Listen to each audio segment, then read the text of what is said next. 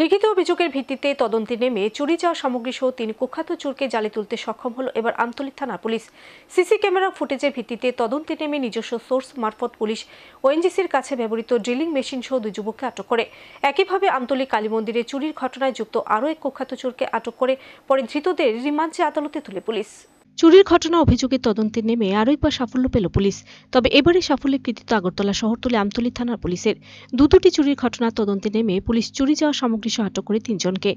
জানা যায়, গত কিছুদিন আগে ওএনজিসির কাজে ব্যবহৃত প্রচুর পরিমাণে ড্রিলিং মেশিন চুরি হয়ে যায়।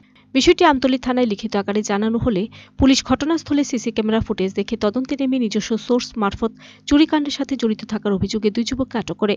একই সাথে পুলিশ আটক করে চুরি হওয়া ড্রিলিং মেশিনগুলি, যার বাজার মূল্য আনুমানিক প্রায় চল্লিশ লক্ষ টাকা। একই সাথে পুলিশ আমতলী কালী মন্দিরে সম্প্রতি সংঘটিত চুরির ঘটনার সাথে যুক্ত এক কুখ্যাত চোরকেও জালে তুলতে সক্ষম হয়। তার নাম রাজু আলম। তার বিরুদ্ধে একাধিক চুরির অভিযোগ রয়েছে। তার জবানবন্দি মূলে আমতলী থানার পুলিশ কালী মন্দির থেকে চুরি হওয়া স্বর্ণের বেশ কিছু অলংকার উদ্ধার করতে সক্ষম হয়। পুলিশের এই সাফল্যে স্বাভাবিকভাবে খুশি স্থানীয়রা।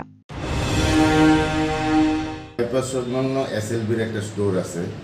সেই স্টোর থেকে বেশ কয়েকদিন আগে যে ডিলিং টুলস ষোলোটা ডিলিং টুলস চুরি হয়ে গেছে বলে তারা কালকে আমাদেরকে একটা অভিযোগ জানান।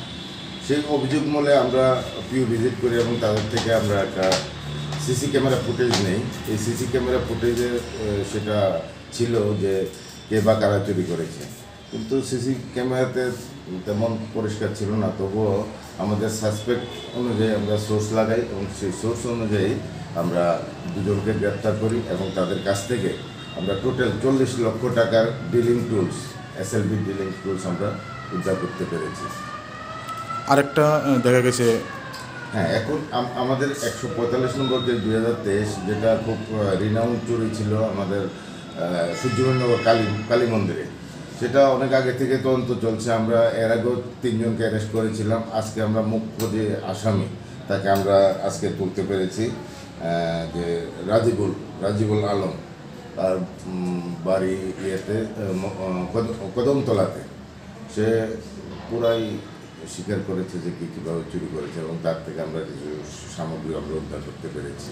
কী কী উদ্ধার হয়েছে? তো এ, স্বর্ণের তুলসী পাতা বেলপাতা এবং কিছু মায়ের গলার হার এগুলো উদ্ধার করতে পেরেছি।